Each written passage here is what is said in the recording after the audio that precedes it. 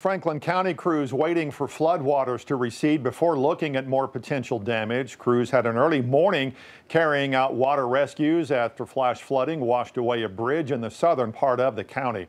5 News reporter Bailey Devane joining us live from Branch, Arkansas, where water is still waist deep in some areas. Bailey? That's right. Since we've been out here, we've seen a few vehicles go past the barrier and plow through the water on West Eucles Street. Now, emergency managers are telling us that these road signs are here for a reason and people should not attempt to cross this street. It's going to cost around $100,000 to replace the Wallula Bridge after it was completely washed away by floodwaters early this morning.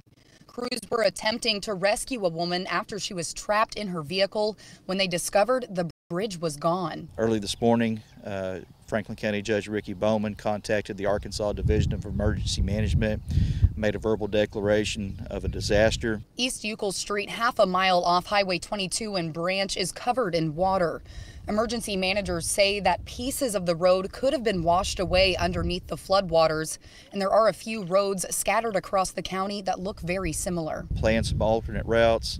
Uh, we realize it's an inconvenience. Uh, I know the bus bus routes for the public schools are having to take different routes. But emergency managers are getting ready for another potentially rainy weekend, which could cause these affected areas in Franklin County to flood even further but they are teaming up with surrounding counties to take on the damages. We have experienced these things in the past, which, uh, you know, historic relevance is, is very important. We learn from it and we learn how to pre plan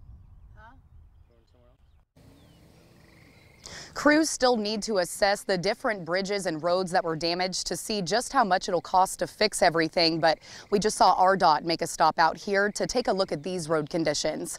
I'm live in Branch covering news where you live. Bailey Devane, 5 News.